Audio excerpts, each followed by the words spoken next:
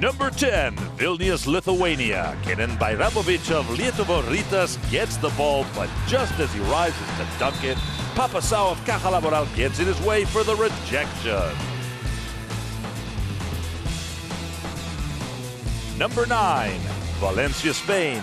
Omar Cook connects with Sergei Lishchuk for a monster slam, sending the Power Electronics fans to their feet.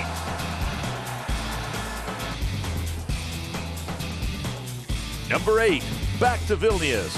Steponas Babrauskas looks for the open man, drives, and sends a bounce pass between the legs of Pape Sow to Kenan Bajramovic, who completes the play with a dunk.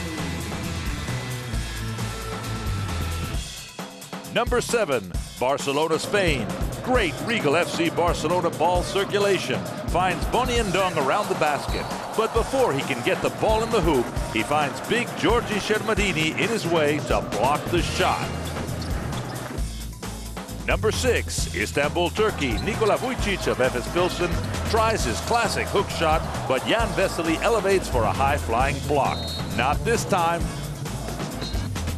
Number 5, Back to Barcelona. Alan Anderson of Regal FC Barcelona slashes to the hole and shines with an outstanding dunk over Damir Markota of Union Olimpija. Barcelona won to finish the top 16 undefeated. Number four, Valencia, Spain. Omar Cook of Power Electronics leads the fast break and sends a behind-the-back assist for James Augustine, who delivers a huge jam. Valencia beat Fenerbahce Ulker and qualified for the quarterfinal playoffs.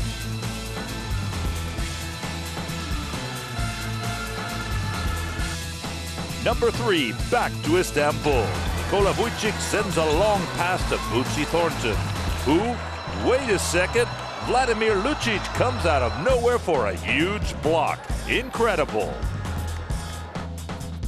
Number two, Madrid, Spain. Nikos Zisis of Montepaschi Siena looks around and finds Malik Hairston, who throws down a monster slam. Montepaschi beat Real Madrid to show that it's ready for the upcoming playoffs. And the number one play of the week, back to Istanbul.